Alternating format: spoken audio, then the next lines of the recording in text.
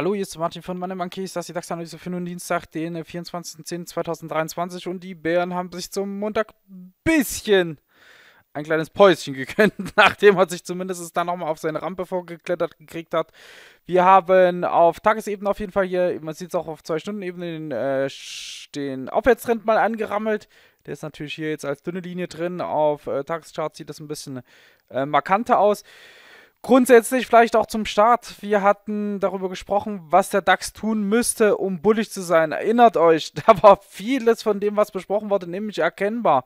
Wir hatten gesagt, wenn der DAX ein Aufwärtsgap bringt, sich 850, 860 hochschiebt und dann bei 830, 800 wieder abstößt und anschließend neue Hochs macht nach 930, kann er gut und gerne 940, 950 erreichen. Und das hat er aber nicht geschafft. Wir haben das Aufwärtsgap gesehen, er hat sich in die 850, 860 reingesetzt und hat dann die, das Aufdrehen, das Long-Signal wieder mal nicht hinbekommen.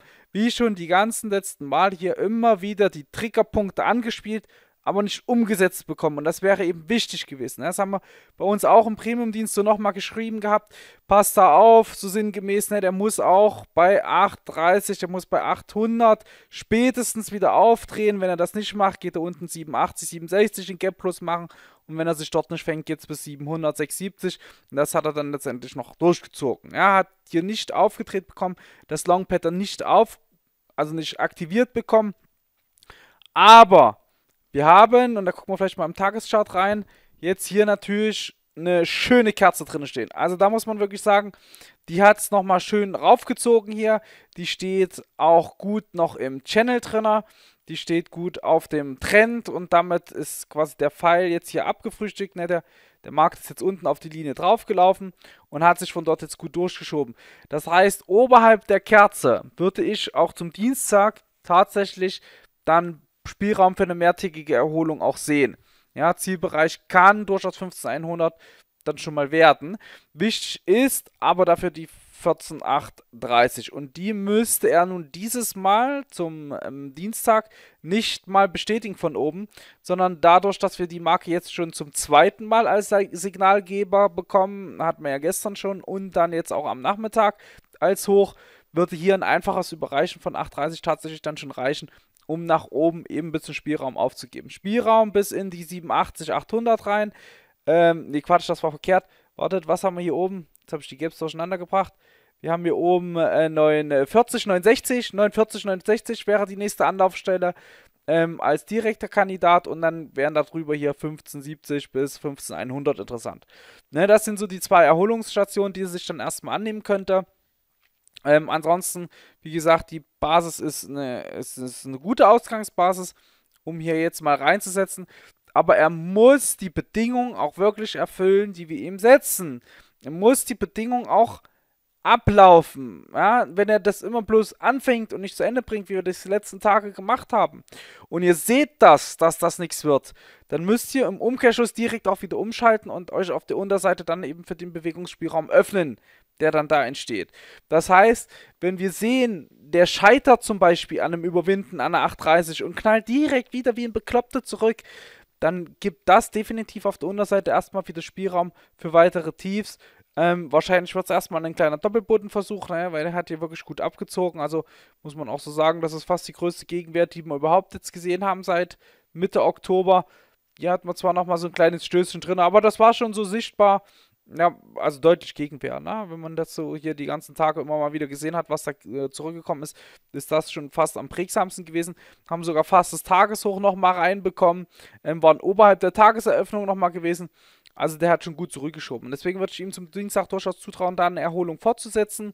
Ne, sollte halt bloß vermeiden, jetzt wieder brachial in die Tiefe wegverkauft werden. Also gerade so unterhalb von 796 würde ich es dann schon wieder etwas kritischer sehen.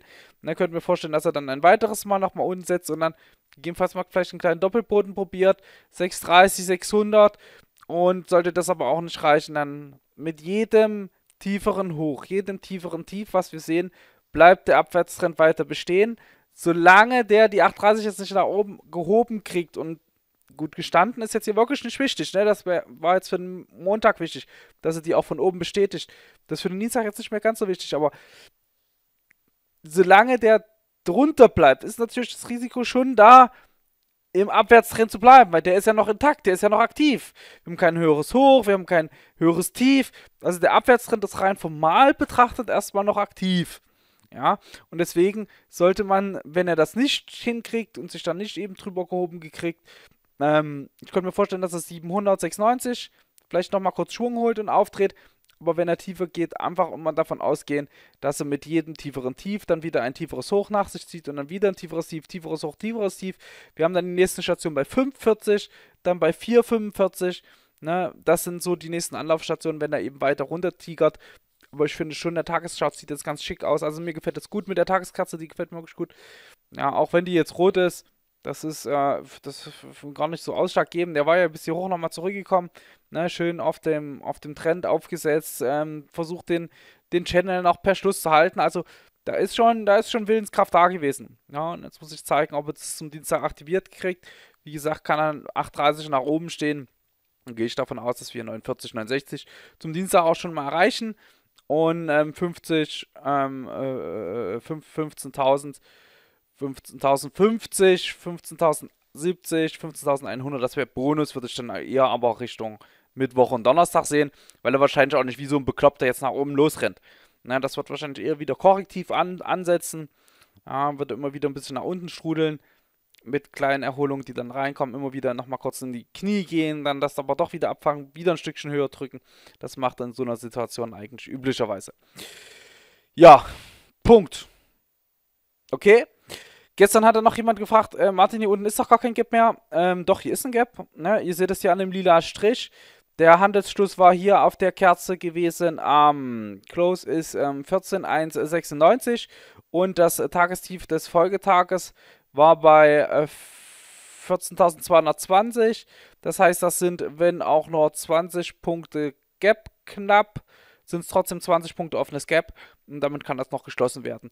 Ähm, die Schatten sind beim Gap hier tatsächlich jetzt egal, also nicht egal wäre es, wenn es an der Folgekerze wäre. Wenn es an der folgenden Kerze wäre, dann wäre der Markt, dieses Gap ja am Folgetag schon einmal durchhandelt worden.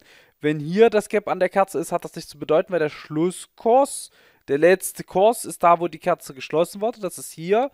Und wenn dann zur nächsten Kerze eine Lücke entsteht, ist das ein Gap. Das ist die Definition eines Gaps. Ja, egal wie die Kerze am Vortag war, wäre hier an der folgenden Kerze ein Gap durch diese Lücke durch, dann wäre das Gap geschlossen, ist es aber nicht. War, wurde noch nicht durchhandelt, die Lücke. Und deswegen bleibt es offenes Ziel, wenn unser Markt weiter treibt und hier weiter fällt, 5,40 erreicht, 4,45 erreicht, beides sich halten kann, dann ist unter 4,45 hier bei 14.200 der nächste Punkt zu suchen. Und deswegen achtet wirklich darauf, dass hier die, die Long-Signale auch bestätigt werden, dass er das annimmt. Ja, man muss da nicht immer der Erste sein, der Long geht. Ne? Das ist auch immer was, was wir immer wieder sagen. Ja, achtet versucht auf die Signale zu achten und versucht ein bisschen den, den, den, den Markt auch kommen zu lassen. Ja, und solange der immer wieder wegkippt, immer wieder abknickt, muss man auch nicht zu, also noch nicht zu aggressiv auch auf der Long-Seite drin rumhandeln. Ne? Das geht immer leichter hoch zu, äh, im aktiven Aufwärtstrend Long zu suchen, ähm, als im Abwärtstrend und es geht immer leichter im Abwärtstrend noch einen Short zu probieren, weil der Markt dann doch immer noch mal nach unten äh, tendiert. Ne? Erinnert euch daran, in die letzten Wochen, ähm, wo es immer darum, wo geht man Short, wo geht man Long, habe ich euch immer wieder gesagt, wenn der Markt einmal hier unter der 15, unter den ganzen Tiefs drunter ist, dann läuft es einfach leichter an, Short-Position zu ziehen. Das ist einfach so. Ja, und die Longs kannst du fast sagen, oberhalb von 15.500 gehen auch viel leichter von der Hand, wie jetzt hier drinnen immer zu versuchen, da unbedingt gleich der Erste zu sein. Ja, das kann eben noch ein bisschen dauern. Und ich könnte mir eben zum Dienstag jetzt auch vorstellen, dass das ein bisschen, naja, mühseliger wird. Aber ich denke trotzdem, dass es eine gute Basis wäre, um eine Erholung einzusetzen. Setzt aber voraus, dass wir über 8,30 handeln. Sehen wir den nicht über 8,30 handeln, könnt ihr das erstmal ausblenden. Dann stellt euch auf tiefere Tiefs ein. Ja, ähm, guckt vielleicht bei 700, 96 nochmal ein bisschen genauer hin, falls er da nach oben nochmal anzieht. Ja, aber ansonsten muss da wirklich jetzt über die 830 drüber und muss das, der muss da drüber, Punkt. Ja. Aber er hat eine gute Ausgangsbasis. Also, sie fast eigentlich die beste der letzten Tage. Muss man schon so sagen. Das sieht recht stimmig aus jetzt. Gucken wir mal, was er draus macht. Ich wünsche euch gutes Gelingen, viel Erfolg und dann hören wir uns morgen wieder. Bis dahin, tschüss.